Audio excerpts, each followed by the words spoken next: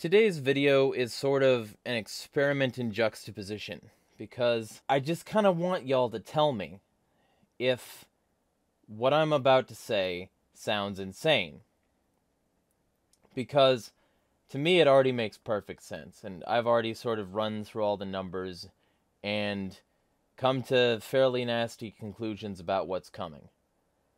But this latest stuff should upset basically everyone.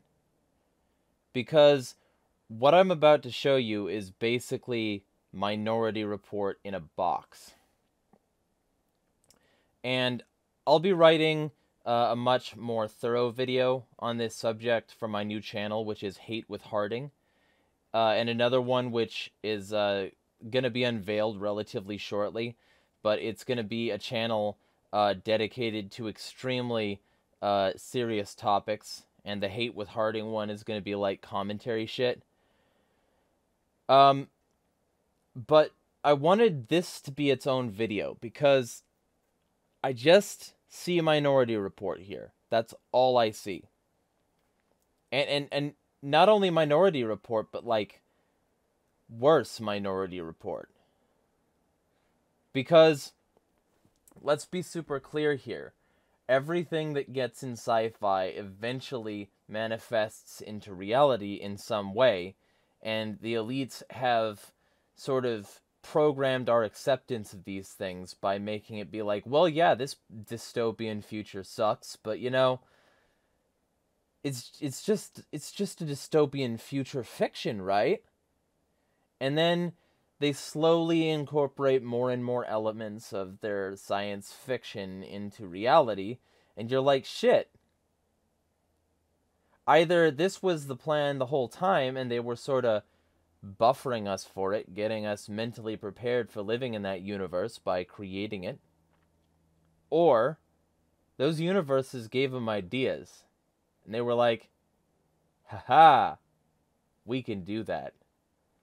And in this particular case, what I'm talking about um, are some AI tools that I think could be combined with the existing technology I've discussed um, to create a dystopian hellscape now. Now, before I get too deep into this, um, I, I want to say I've got two videos here on the subject, many more, by the way, but these two videos here are good primers. And also this video, uh, for the subjects I discuss in that video, sort of applying to this video.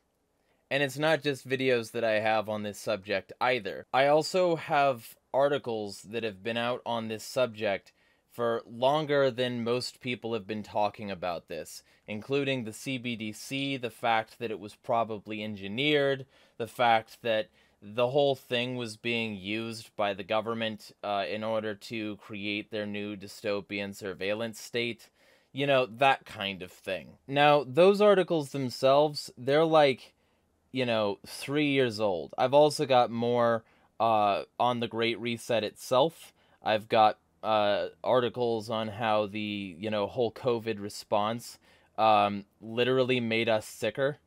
How they should have let us go uh, in the first year, and the lockdowns were just evil and designed to let them build their new systems uh, while we were all forced indoors. Um, and also allowed them to force us onto their contact free garbage, which, uh, you know, was designed to empower the AI state, right? Um, so I've been talking about this for a really fucking long time. Um, and I've already got a wealth of information on the subject. But there's a real key component to this story today um, that I hope y'all watch the video on Clearview in order to fully understand. Um, because the video on Clearview will tell you everything you need to know about what I'm about to say, because I was right all those years ago, and they're bringing in the current uh, iteration of sort of an AI surveillance superstate exactly like I said, a facial recognition surveillance super state, exactly like what I said. Um, so I want to read two articles, and I'll bring those up right now. The first article that I'll bring up is this one. It's on Vice. Uh, it's developers created AI to generate police sketches, and experts are horrified. Police forensics is already plagued by human biases. Experts say AI will make it even worse. This is a screenshot of uh, one of their uh, sketches that they took. Um, and in this screenshot, you can see a remarkable level of detail that this thing brought up. Um, and the, the article goes on to say two developers have used OpenAI's DALL-E 2 image generation model uh, to create a forensic sketch program that can create hyper-realistic police sketches of a subject based on user inputs. The program called Forensic Sketch AI Artist was created by developers Artur Fortunato and Filipe Reynaud as part of a hackathon in December 2022. The developers wrote that the program's purpose is to cut down the time it usually takes to draw a suspect of a crime, which is around two to three hours, according to a presentation uploaded to the internet. Quote, We haven't released the product yet, so we don't have any active users at the moment. Fortunato and Reynaud told Motherboard in a joint email. At this stage, we are still trying to validate if this project would be viable to use in a real world scenario or not. For this, we're planning on reaching out to police departments in order to have input data that we can test this on. AI ethicists and researchers told Motherboard that the use of generative AI in police forensics is incredibly dangerous, with the potential to worsen existing racial and gender biases that appear in initial witness descriptions. The problem with traditional forensic sketches, uh, Jennifer Lynch says, uh, is not that they take time to produce, which seems to be the only problem that this AI forensic sketch program is trying to solve. The problem is that any forensic sketch is already subject to human biases and the frailty of human memory. Jennifer Lynch, the surveillance litigation director of the EFF, told Motherboard AI can't fix those human problems, and this particular program will likely make things worse through its very design. The program asks users to provide information either through a template that asks for gender, skin, color, eyebrows, nose, beard, age, hair, eyes, and jaw descriptions, or through the open description feature, in which users can type any description they have of the subjects. Then, users can click Generate Profile, which sends the description to DALL-E 2 and produces an AI generated portrait. Now, let me just stop there for a second and say, y'all have seen some DALL-E shit. Y'all have seen that it, it generates like a sixth finger on every hand. Y'all have seen that it's wildly inaccurate to begin with. So it already seems ethically fucking dubious to use this massively imperfect system for this purpose. But guess what? The state doesn't give a fucking shit.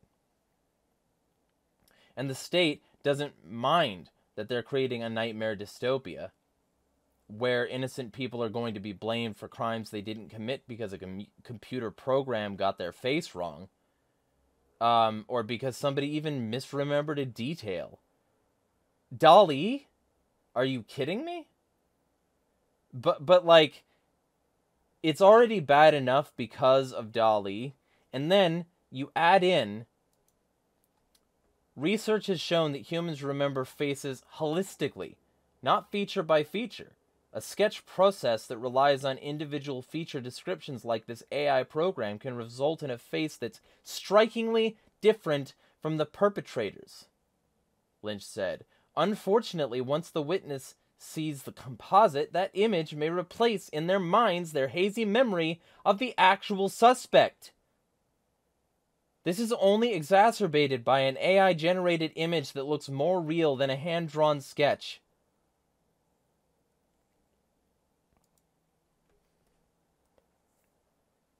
I don't know about you, but if I wanted to create a dystopia where I could blame anyone for any crime, I might just do that.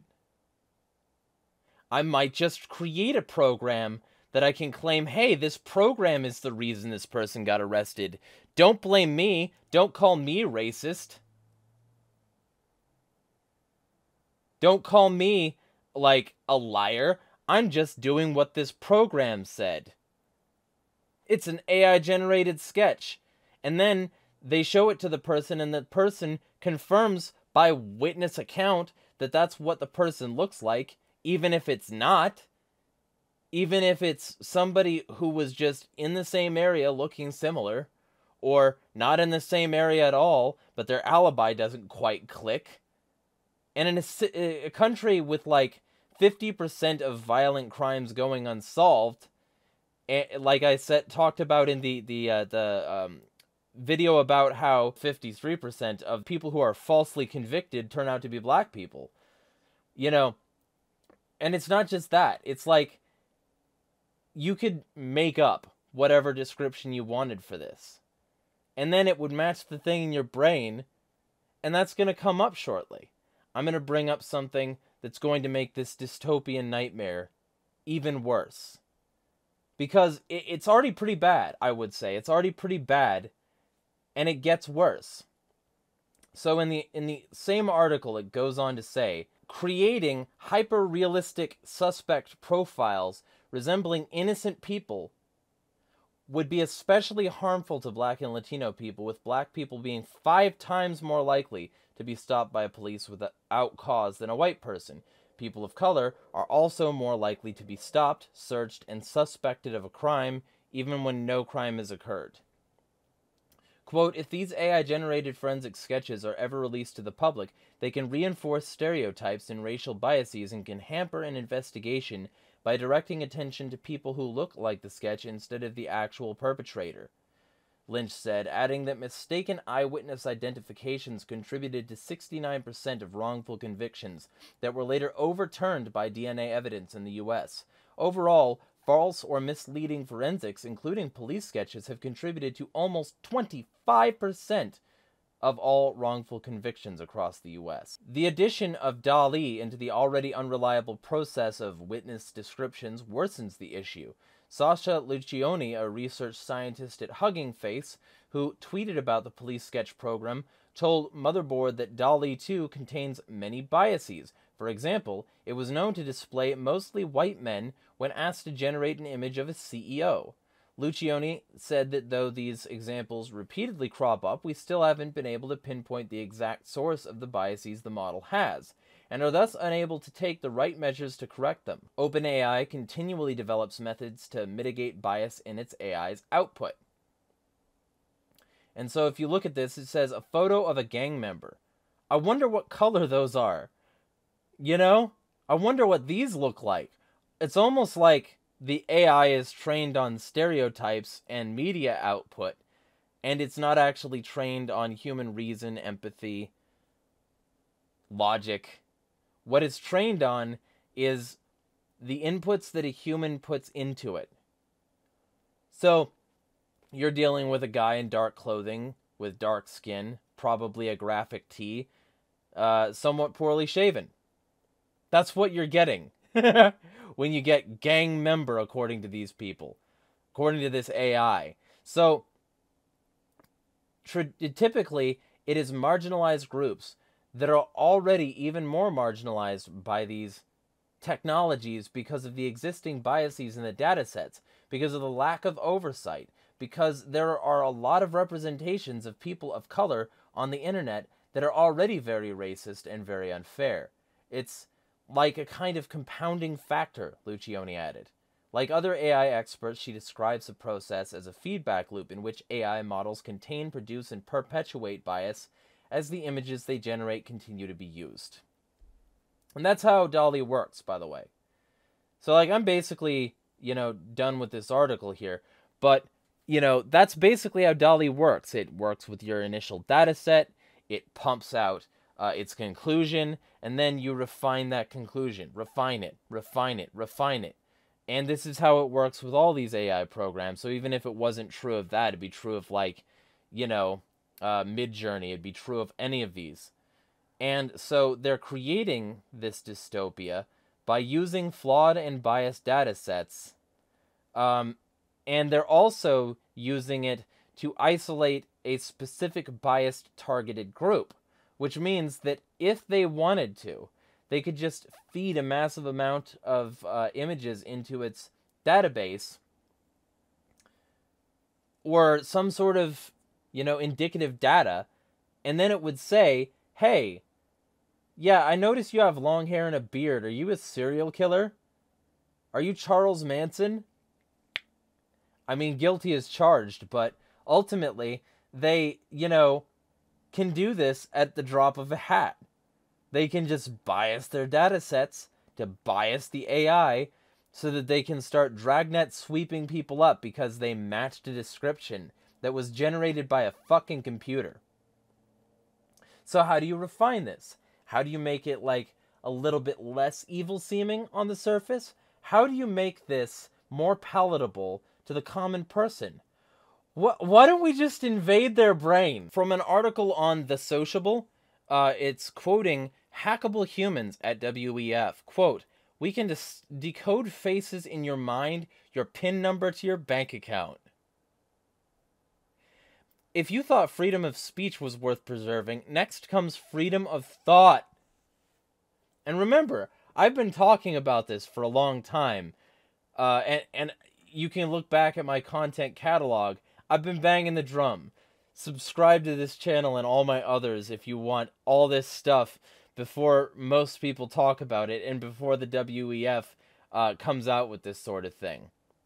Because uh, thanks to AI, the Internet of Bodies ecosystem, uh, decoding the human brain is already well underway, according to a WEF presentation. Five years after historian Yuval Noah Harari uh, told the WEF that humans were hackable and that organisms were algorithms, Harari's insights have been fully realized. Thursday's WEF annual meeting 2023 session on Ready for Brain Transparency opened with a short video showing a dystopian scenario where employees' brainwaves were not only decoded to determine their performance in the workplace, but also to determine whether they participated in illegal activity. So, I'm going to play this video. It's going to be small. I don't fucking care. Uh, I, I you know, the the real streamlined content is going to be on Hate with Harding, so go over there if you want that stuff. But basically, mentally move the cursor to the left and scroll through your brain data over the past few hours. You can see your stress levels rising as the deadline to finish your memo approached, causing a peak in your beta brainwave activity right before an alert popped up telling you to take a brain break. But what's that unusual change in your brain activity when you're asleep? It started earlier in the month. You send a text message to your doctor with a mental swipe of your cursor. Could you take a quick look at my brain data? Anything to worry about? Your mind starts to wander to the new colleague on your team, whom you know you shouldn't be daydreaming about, given the policy against intra office romance. But you can't help fantasizing just a little. But then you start to worry that your boss will notice your amorous feelings when she checks your brain activity and shift your attention back to the present. You breathe a sigh of relief when the email she sends you later that day congratulates you on your brain metrics from the past quarter, which have earned you another performance bonus. You head home jamming to the music with your work issued brain sensing earbuds still in. When you arrive at work the next day, a somber cloud has fallen over the office. Along with emails, text messages, and GPS location data, the government has subpoenaed employees' brainwave data from the past year. They have compelling evidence that one of your coworkers has committed massive wire fraud. Now they're looking for his co conspirators. You discover they are looking for synchronized brain activity between your coworker and the people he has been working with. While you know you're innocent of any crime, you've been secretly working with him on a new startup venture. Shaking, you remove your earbuds. Yeah. Your amorous feelings. They can tell you're experiencing amorous feelings. They can tell you're stressed. They can tell you to take a brain break. Looks like you've had a little too much to think. You should lie down there, Brittany. Hey, Stephen, you wouldn't be a little bit angry at the way conditions have been getting in the workplace. I think I think we should fire you, Steven, because of what you're thinking. Not because of what you did, not because you're actually a bad worker. You might knuckle under even though you hate it. But the fact that you hate it, the fact that you didn't universally conform, that's got us a little touched, and we're gonna fuck you for it. And it's not just that, like, your brainwaves got a little negative. Are you doing something illegal? We'll subpoena all this data.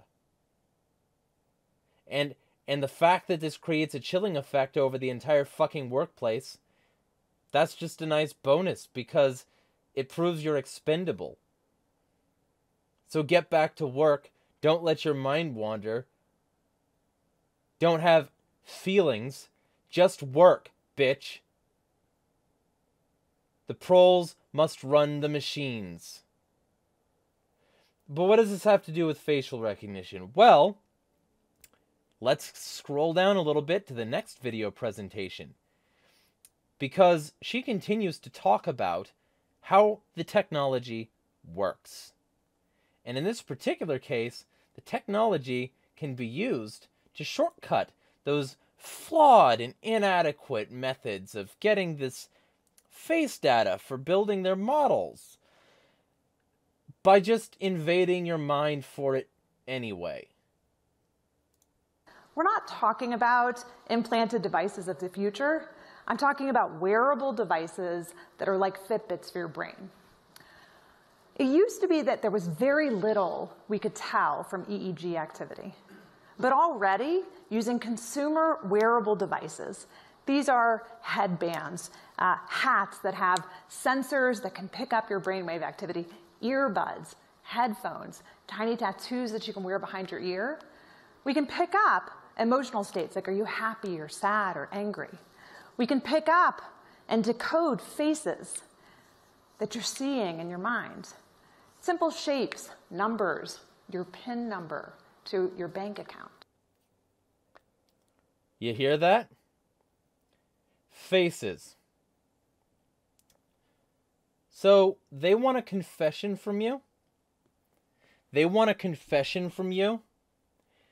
They can just strap you down, put one of these Fitbits on your skull, read your mind enough to see the faces you're thinking of ply you for the information, get enough face data to plug it into DALL-E, print out a hyper realistic sketch, and congratulations, you're now an involuntary snitch.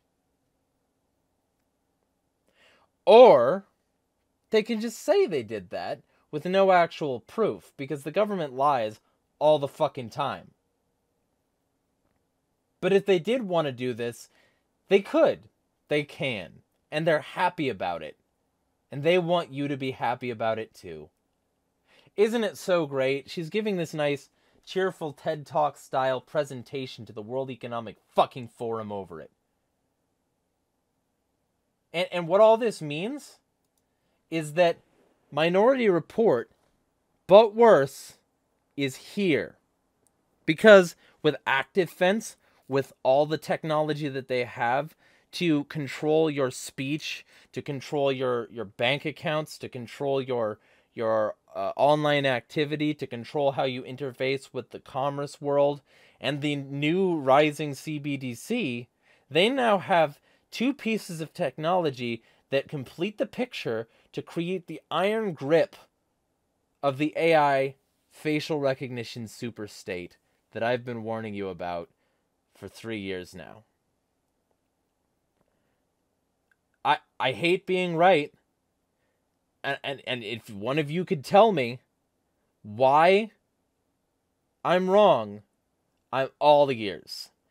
But what it looks like is they're getting these models trained so that they can read your brain and weaponize your thoughts against you, to force you into the obedient worker they need to build and run their machines, and to build and help launch their escape pods while they jet off to space away from the environmental catastrophes the wealthy and elites have wrought upon this planet.